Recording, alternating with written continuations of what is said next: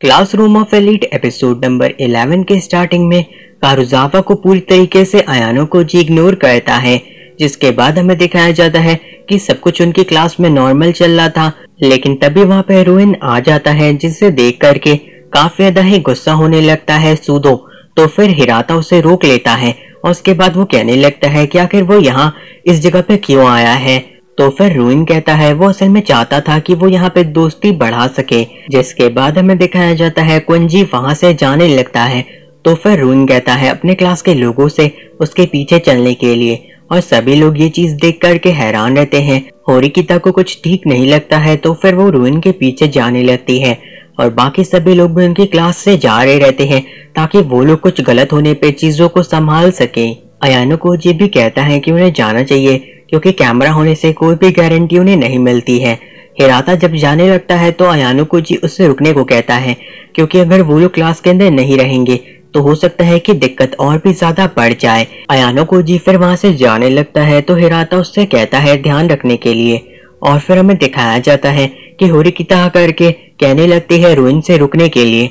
Ruin कहता है कि वो देख ही सकती है कि वो यहाँ पे कुछ भी गलत नहीं कर रहा है। तो फिर वहाँ पे क्वेंजी कहता है क्या उसने ऐसी कोई चीज़ की है जिसकी वजह से रूइन यहाँ पे आया है?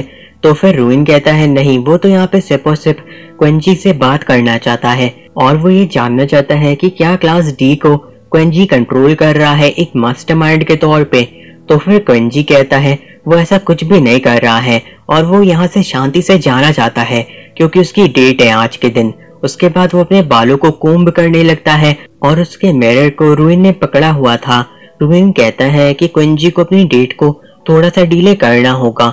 उसके बाद वो उसके मिरर को फेंक करके तोड़ देता है। तो कुंजी उसे उठाते हुए कहता है, क्या तुम्हें पता भी है कि ये मिरर कितना ज़्यादा महँगा है? जिसके बाद उन्हें होरी की कहने लगती है रुइन से रुकने के लिए। लेकिन रुइन कहता है कि वो तो सिर्फ़ और सिर्फ़ कुंजी के साथ थोड़ा सा खेलना चाहता है। तभी वहाँ पे सकाया नागी आ जाती है और कहने लगती है कि आखिर यहाँ पे क्या चल रहा है? तो फिर रुइन कहता है, आखिर वो यहाँ क्या कर रही है? और अच्छा होगा कि सकाया नागी से सिर्फ़ खड़ा होकर के देखती रहे और उसके रास्ते में ना आए। ये सारी की सारी चीज़ें अयानो को जी भी देख रहा रहता है। कंजी फिर कहने लगता है कि उसे भी अच्छा लग रहा है कि यहाँ पे ज़्यादा सारे लोग हैं, लेकिन अच्छा होगा कि रोइन काम की बात करें। तो फिर रोइन कहता है, ठीक है, वो समझ गया। क्वेंजी कहता है कि वो मास्टरमाइंड का पता लगाना चाहता है ना, कि आखिर वो कौन है? तो रोइन हाँ कहता है, जिसके बाद क्वेंजी कहने लगता है कि वह असल में साफ़ साफ़ बताना चाहता है कि वो इस चीज़ को बिल्कुल भी नहीं कर सकता है, क्योंकि उसने तो किसी भी टेस्ट के अंदर कुछ भी परफॉर्म नहीं किया था, और इसीलिए रुइन को क्वेंजी से कुछ भी नहीं मिलने वाला है। रुइन ये सारी चीज़ें सुन करके कहता है कि क्वेंजी की कहानी के हिसाब से इस बात की कोई गारंटी नहीं है कि वो क्लास डी को कंट्रोल भी नहीं कर रहा है। क्वेंजी कहता है कि इन सभी बातों से रुइन बस एक ही चीज़ समझ पाया है, जिसके बाद वो रुइन को बेवकूफ़ कहता है और सभी लोग ये सुनकर के काफ़ी हैरान होते हैं। लेकिन रोइन कहता है कि अगर सच में कुंजी सच कह रहा है तो फिर रोइन उससे और ज़्यादा सवाल नहीं पूछेगा। जिसके बाद वो रोइन को शुक्रिया कहता है ड्रैगन बॉय कहते हुए। लेकिन रोइन कहता है कि अगर इन सभी चीज़ों के बाद भी रोइन कोशिश करेगा कुंजी को डोमिनेट करने की वॉयलेंस के इस्तेमाल से तो आखिर वो क्या करेगा? तो फिर कुंजी कहता है कि ये एक ऐसी जगह नहीं है जहाँ पे रोइन इस तरह की चीज़ करना चाहेगा। रुइन कहता है, वो किसी भी जगह पे कुछ भी कर सकता है। तो फिर क्वेंजी कहता है, अपने आप को बचाने और अपनी इज़्ज़त को बचाने के लिए क्वेंजी को उन सभी को मारना पड़ेगा। रूइन ये सुन करके कहता है कि ठीक है, वो इस बात को अच्छी तरीके से समझ गया है। तो फिर क्वेंजी कहता है कि उसे भी अच्छा लग रहा है कि सारी मिसअंडरस्टैंडिंग खत्म हो गई है। लेकिन फिर भी रूइन पूछता है, क्वेंजी से कि क्या उसे पता है कि आखिर मास्टरमाइंड कौन है? तो फिर क्वेंजी कहता है, वो उसका मज़ा खराब नहीं करना चाहेगा। उसे ये चीज़ बता करके सकाया नागे फिर रूइन को ड्रैगन बॉय बुलाते हुए कहती है कि उसे पता चला है कि रूइन क्लास डी के अंदर किसी को ढूंढ रहा है। तो फिर रूइन कहता है कि अगर वो दोबारा उसे ड्रैगन बॉय बुलाती है तो वो उसे मार डालेगा। ये सुनकर के सकाया नागी उसे दोबारा से ड्रैगन बॉय बुलाती है और रूइन उसके ऊपर हमला करने के लिए आता है, लेकिन उसके हमले को सकायानागी के क्लास का एक लड़का रोक लेता है। रोगन फिर कहता है सकायानागी से कि वो दोबारा उसे ये बुलाने की गलती न करे, जिसके बाद वो वहाँ से जाने लगता है। तो होरिकीता कहती है कि रुइन ये सारी चीज़ें यहीं पे रोक दे। सकायानागी फिर पूछती है हाशिमोटो से कि आखिर यहाँ पे भी हुआ क्या था?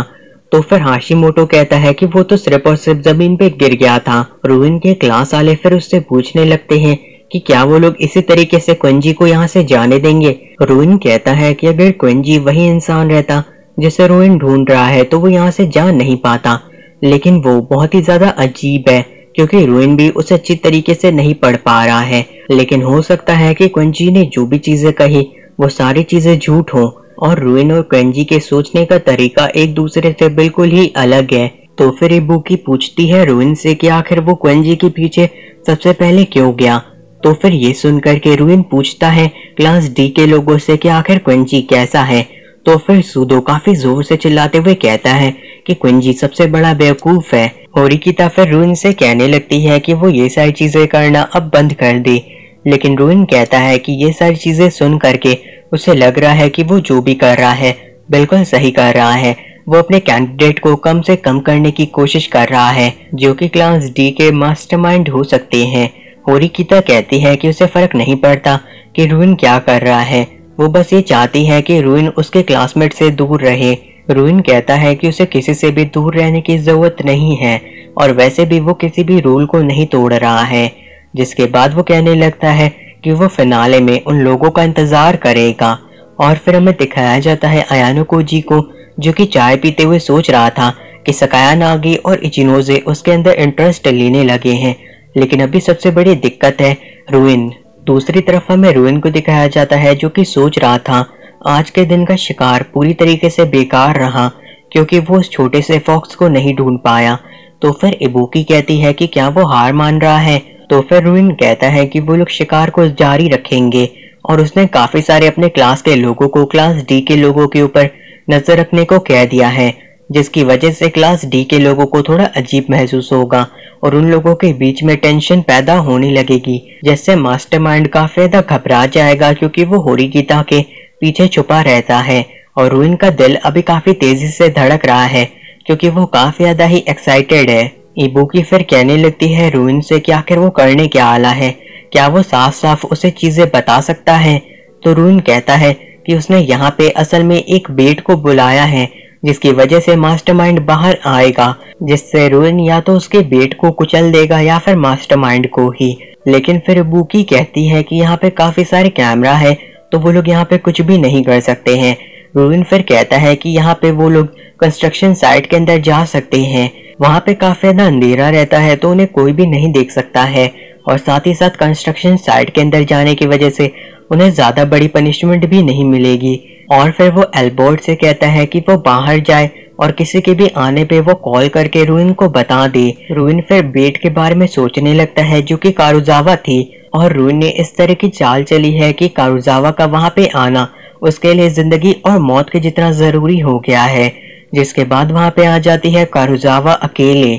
और फिर वो कहने लगती है कि आखिर रुइन ने उसे ईमेल में वो सारी चीज़ें क्यों लिखी थी? और कारुजावा को नहीं पता है कि मानाबे और बाकी सभी ने रुइन को क्या बताया है? लेकिन वो जो कुछ भी है, वो झूठ है। ये सुन करके रुइन कहने लगता है, अगर ऐसी बात थी तो कारुजावा आखिर यहाँ पे आई ही क्यों है? तो फिर कारुजावा कहती है, क्योंकि वो किसी भी रूमर को फैलने नहीं देना चाहती है, और आखिर यहाँ पे रुइन ने उसे बुलाया ही क्यों है? इबुकी फिर कारुजावा से कहती है कि कारुजावा को मिडिल स्कूल के टाइम से ही काफ़ी ज़्यादा बुली किया जा रहा है। कारुजावा ये सुनकर के घबरा जाती है और नीचे गिर जाती है।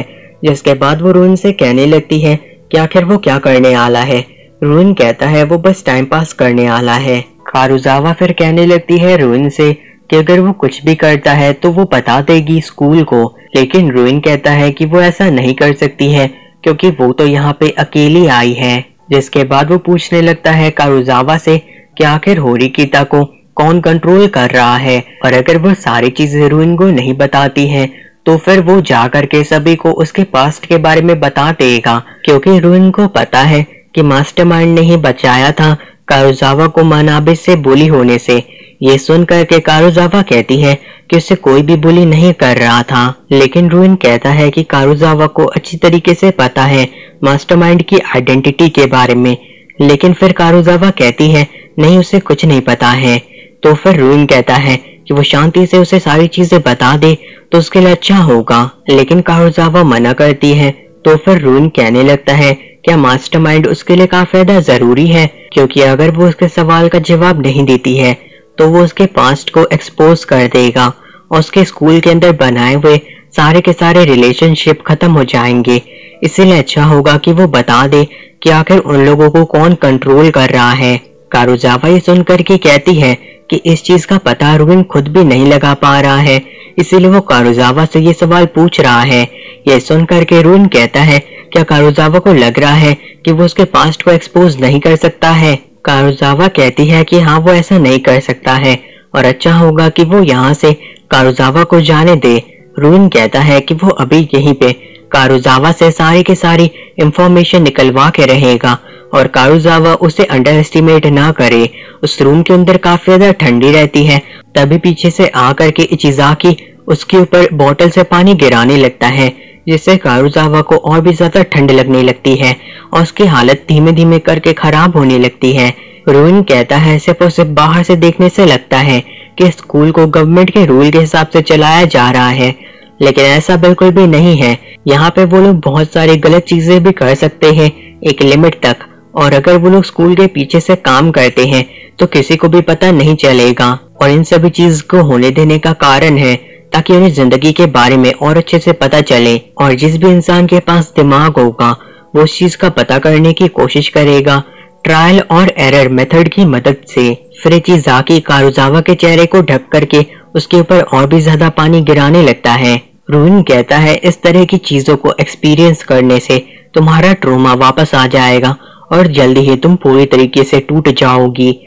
और फिर में दिखाया जाता है, बाकी सारे अयानुकोजी के ग्रुप के लोगों को, जो कि सेकेंड टर्म खत्म होने की खुशी में जा रहे रहते हैं कैरियोके के लिए, जिसके बाद वो अयानुकोजी से चलने के लिए कहते हैं, और अयानुकोजी भी उनकी बात को मान जाता है। दूसरी तरफ़ हमें दिखाया जाता है कारुजावा को जिसको लगातार ही जो रोइन रहता है, वो टॉर्चर कर रहा रहता है। जिसके बाद रोइन वापस से पूछता है कि आखिर मास्टरमाइंड कौन है? लेकिन कारुजावा कोई भी जवाब नहीं देती है। जो देख करके रोइन कहता है, तुम सच में काफ़ी ज़्यादा ही वफादार हो। इबुकी कहने लगती है कि किसी इंसान को अगर बहुत ज़्यादा बोली किया गया हो तो उसके लिए ये सारी चीज़ें सहना बहुत ही ज़्यादा ही आसान चीज़ है। रोइन फिर कारुजावा को घसीटने लगता है और कहता है वो ये सारी चीज़ें अपने खुद के मज़े के लिए कर रहा है।